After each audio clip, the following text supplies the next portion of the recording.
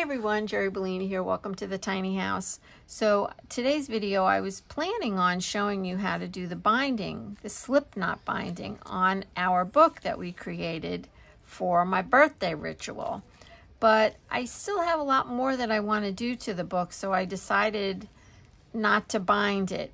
However, I did show you how to do the binding in the 10 minute technique playlist. So if you're ready to bind your book, you can go over there and take a look at that.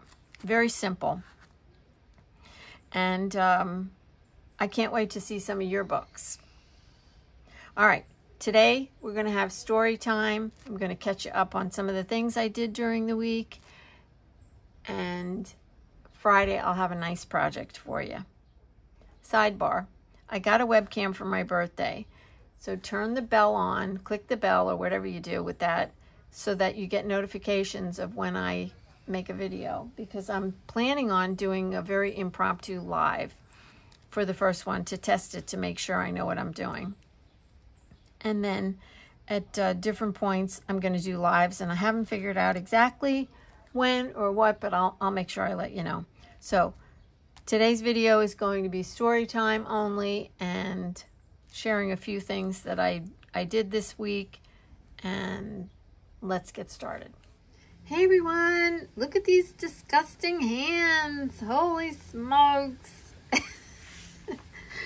um, I've been working really hard on my scrappy little artist journal and it's taking me a long time. So um, let's have a little visit and we'll have a little catch up. And last week, as many of you know, was my birthday, and I went home to Pennsylvania to, uh, you know, hang out with Brian and also to go to the baby shower. And uh, if you watched my video last Tuesday on birthday rituals, you'll know that um, yeah, I'm floundering around with the birthday rituals. So this time, uh, this year, I thought I would create something for my birthday, for a birthday ritual, as part of a birthday ritual. And so I created this book. Now I have already created one. I showed you in a flip, this one. And it was so much fun to make. It's flashcards. I use flashcards. And then uh, you can look at the flip if you want. And this time I decided to use playing cards, which I don't have any more here. I'm at the beach now. I was at home when I started this. And it, it just has been a lot of fun. So I did a little how-to last week, as you know, but I did not tell you how to bind it because I wasn't ready. So I'm still not ready but I decided to revive an older video where I show you how to do this wonderful slip knot binding. I love this binding. I decided to put the slip knot binding in the 10 minute technique playlist. So if you're ready to bind your book, you can find it over there. I'll also add a link in the description box below this video. Um, what I wound up doing is uh, I did a little stitching around the outside edge and I liked it. So I'm going to go back and do stitching on the outside edge of the pages. And I'm going to leave this um, thread hanging off the end because I like that too. So I wound up doing a lot of different layers on, and you'll see here, on the underneath part. So I did collage and then I did um, some gesso and then I used some um, ink and I just smudged it around. And then this is actually, um, it's artist cement. So it's modeling paste, really, for lack of a better word. And so I did some designs through stencils and I really like, I just liked all the texture and I really enjoyed the whole process. And I inked the edges heavily with brown and then with black because I really like the way it looks like it was burnt. So that's what I did. And I forgot to show you um, the cutout, which I'll get to that in a second. So uh, what I did is also I cut out some images from a magazine and I had one only one really crummy magazine at home. so I didn't get very many images out of it. I wound up using mostly words, which is fine. This was like a blurry cupcake. It was on a page for a dog, the dog's birthday. But I thought, whatever. It's my birthday. I found those words somewhere. And um, my book, before I go any further, has a theme of getting older, and that is not to be mistaken.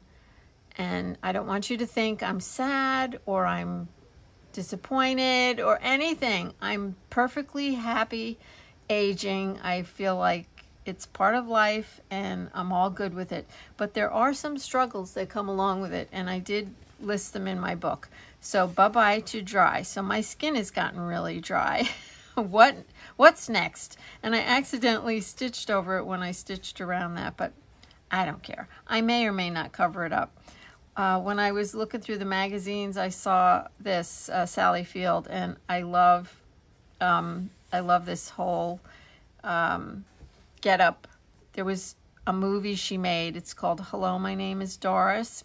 If you get a chance to watch it, it's very interesting. She's a character, and I love that. And I, I enjoy dressing like that. And Brian and I actually had a conversation about um, people who dress quite different and like people who do things out of the general ordinary. I have to watch how I say this. So he he calls it peacocking and I don't agree with I didn't agree with it because I think well, probably in some cases, people do do that. I would imagine that they, you know, they feel like they need attention, so they maybe wear clothes that are, uh, are quite unusual, or maybe. So we have somebody that pops into my mind is this. We have this guy down here at the pool, and he's very tan and he's very muscular, and it's so funny when he gets out of the pool. He's always flexing his muscles and he's always looking at his arms that's peacocking, okay? So I don't think like what Sally Fields does in this movie, I don't think that's peacocking. And I don't think what I do is peacocking because I really don't care if you look at me or not. I just enjoy getting dressed up weird. And I like I love my yellow car. That's another thing that could be, you know, somebody driving a race car or something could be considered peacocking. So let me know what you think about that um, I feel like we're all so individual and we should embrace uh, what we love and who we are. And um, yeah, I do guess that there are people out there that are um, trying to get attention for the wrong reason. So that was a long sidebar. anyway, Sally Fields, I love that. This was just the article about the movie. And I, I think I'm going to wind up covering that up. So my pages aren't done, and that's why my book isn't going to get put together today. So I just kind of picked some weird things. All right, so here is another thing that I forgot to mention last week in the video. Um, making windows. Totally forgot to show you about making windows, but you saw this book, and this book had windows, so I'm hoping that, you know, you if you wanted to make one. I don't think if anyone is finished with their book, besides maybe putting it together, and maybe you already did put it together, I want to know if somebody finished this book because this, this took a lot of time. So when you're going to do a window, you kind of have to plan two pages together. So that's what I did. And you see there's nothing on there yet. Love Blooms. And that says Stitched Relationships. And I feel that that's what we have here your stitched relationships. So, you know, there's more of the um, modeling paste. Um, somebody mentioned in the comments when I wrote the word old and showed this, um, it, this was just a word I used. I am old. I'm older. I'm not old, old. I don't identify with being old and, you know, and useless or that kind of thing. I, I do identify with being older and having more wisdom and um, being very grateful and etc. so on. So I just thought it was fun to write the word there. That's why I wrote it there. Um, this came from my zine, which uh, I did, I think I shared that with you in the last uh, video. I think I told you about my zine. So here's my zine right here. We'll just switch over for a second. Um, I made this, I think it was 2017. I don't know. I just didn't date it, but um, a friend, a good friend of mine sent me an email and said she remembers when I made this. I gave, I gifted it to a few people and she had it and incorporated it into her work. And she, I appreciate, I appreciate you so much, Barb. Um, and I won't say your last name, my, my dear friend Barbara.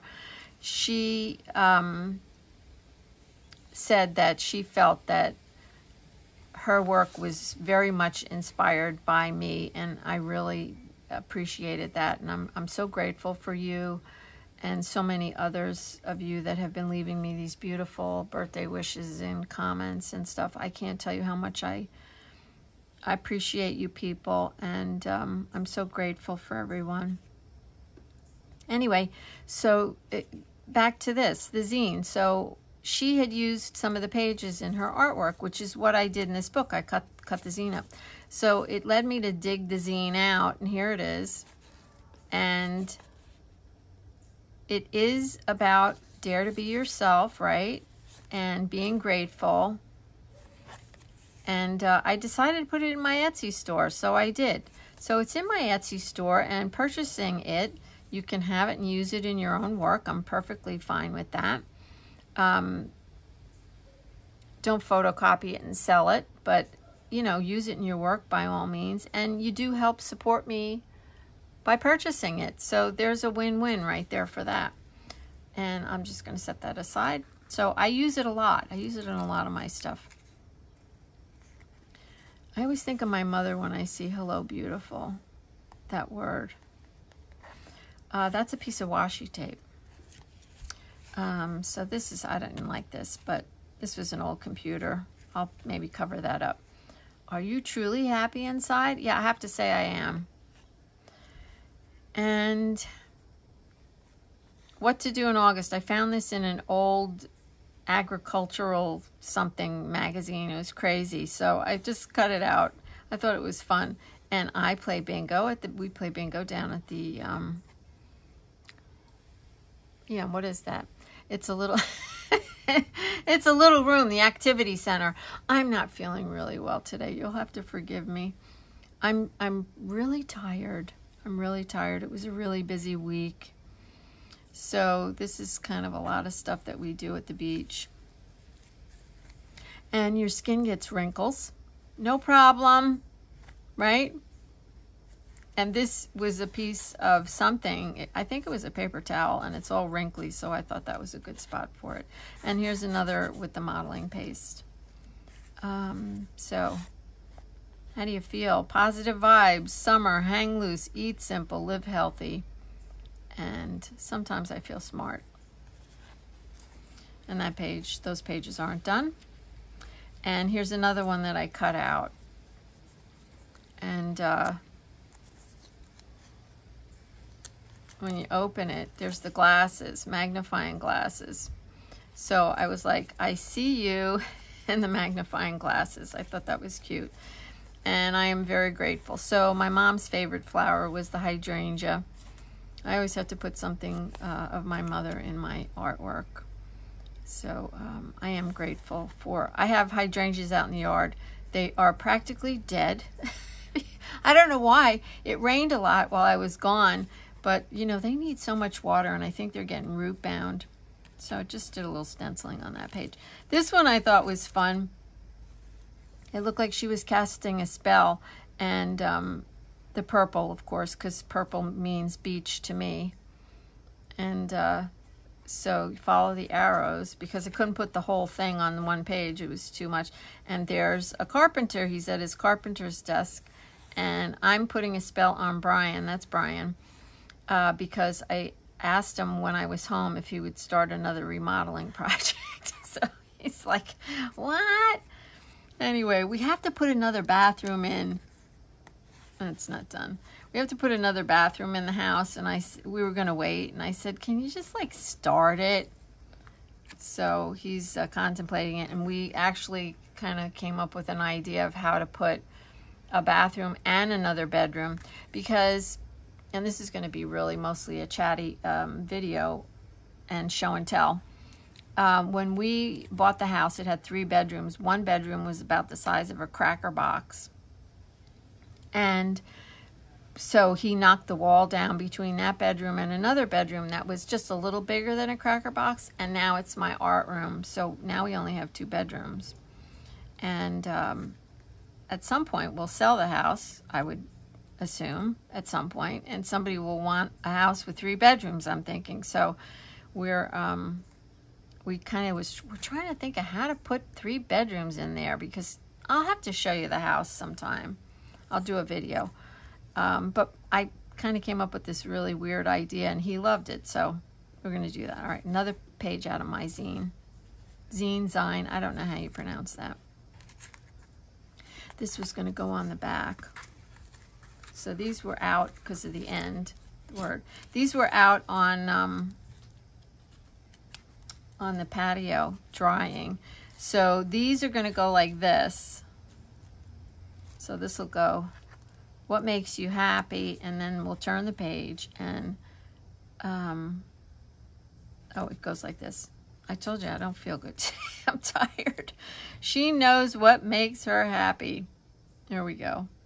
So, you know, I have to uh, scribble around it and stuff. You know, that makes, that takes a page from being just like meh to being really interesting. See, like this one's got some outlines and stuff. I really like that. Make every minute count because, you know, most of us in here are getting older. So, um, and then I stitched around here. I think there's 18 pages. There's supposed to be. There might be an extra one, uh, but I'm going to make sure there's just 18. And I'm not going to bind mine just yet, but um, the slip knot binding is a really nice binding to make for these books, for these single page books. All right, so I wanted to show you my birth. I want to talk to you about my birthday. So I told you that I always buy something for myself for my birthday. Let me see if you can see this. Yep, you can see it. I always buy something for myself for my birthday. I think I just said that twice. I bought this. And um, I did put it in the um, description box, a link. I got this on Amazon. And it is very similar. I think it's exactly the same thing as the, as the thing I had originally many years ago when I did my haiku book. So I couldn't remember where the um, magnetic boards were. And then I thought, you know, I think they're at the beach. Sure enough, they're down here. So I have a couple of magnetic boards. And with these magnetic boards, I found this is another magnetic board. So I'm not going to, I can't pick it straight up and show it to you. This was with my words. So I have a feeling these words are here somewhere and they were never home. They were here. I'm going to look for them. So uh, I took all the words apart. There's still even more. There's a lot of words in this box. And I'm going to leave them on, I have now I have three magnetic boards. I'm going to leave them on one of the boards, probably this one. And then I did already did this this morning. I love this. So this is a smaller one. And I made a haiku. So here it is, right? It's five syllables, seven syllables, five syllables. And uh, I love this one because I was sitting here this morning thinking about, you know, being back at the beach and I, I just love it here so much. And, you know, the color down here is purple. So Purple Dream, small smile, does it brings a smile to my face. Happy she sees a garden. And I have a few flowers around here. So I'm happy to see them. Summer Wind Sounds. And it's very windy here today. So I love this. So let me show you. I'm going to keep showing you. This is mostly show and tell today. So this was my haiku book I showed you last time. And so that's what I did. I put it in my book. Make sure you can see. I'm make sure I'm in frame. And what I do, you can see this is, um, I don't know if you can see it or not. It's these little, these little letters, okay? I have a bunch of them. And I remember, I think I bought them at AC Moore. I don't even think that store is open anymore. I think they were a dollar. And I bought a couple of different ones. I mix, this one is in a separate box, but the little ones, the really little ones, I mix them all together in a bag. So I don't care if they're the same script and you see. And so then I'll draw a little picture down here like I did in the rest of the book. Yeah, I really enjoyed doing that um, haiku this morning. It was super fun. It's very relaxing. I can't tell you why, but it is. So uh, that's my haiku. Um, I did want to, and we'll just leave that right there because we don't want, I don't want the screen to get not focused. Um, I want to show you Lila's quilt. So the baby shower was Sunday, and it was amazing and maybe so you'll have something better to look at. I'll just spread these out. It was amazing. Um, her sister, she has three sisters, so there's four of them all together. Her sisters put the um, shower on for her, and everybody chipped in and, um, you know, made something to eat, and it was really, really, I really nice. Now, people didn't wrap gifts. It's a new thing, I guess. You don't wrap the gifts. You just bring them, and so I folded up the baby quilt and I took a picture. It's not done, but I just figured, look at look at that. Isn't that lovely? I took a picture of it hanging on the clothesline outside, and I'll show it to you. It, I'm going to make it bigger. I'm going to make it 45 by 60. Um, it's it's not uh, quite big enough, but it, it looks nice. It looks really nice. She loved it, and that's all that matters. I was happy that she liked it and she liked the colors and everything. So what I'm going to do now is try to find a piece of very soft flannel in pinks and greens um, for the backing.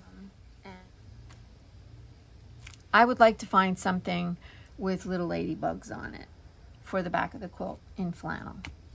All right, so when I was home on my, that was on my actual birthday, the baby shower and I got up early because our internet wasn't working and I had to get up early uh, to let the internet guy in. And so I thought I'm going to do something. I'm going to sew something. So I had an idea for a sewing project. So I started working on that and I'm not going to show you that, that to you right now. I'm going to save that for another day. But that's how I spent my birthday morning. I, I was sewing and I had so much fun it just was so fun because it was a new idea and it was a new project and it was just fun. And then we got ready and then we went to the shower. And uh, we thought we might do something afterwards, but I was tired. It was a long day. Uh, they, they are far, it was far away, so it was a long day. And that's probably why I'm so tired now because then we came to the beach. So that was Sunday. We came to, back to the beach on Monday. And when I say we, I mean me and my daughter Amanda she was coming back and I bummed a ride with her. And uh, I had to get up at, I think I got up at like 5.30 in the morning because she wanted to leave early. And we were out of the house by 6 o'clock. So I'm still, i I'm hungover. All right. This, I hope this doesn't ruin the focus because it's white. You know what this is? This is um, red cash register paper and so, or adding machine paper. And sometimes you see this in a thrift store, and that's why I'm pointing it out to you.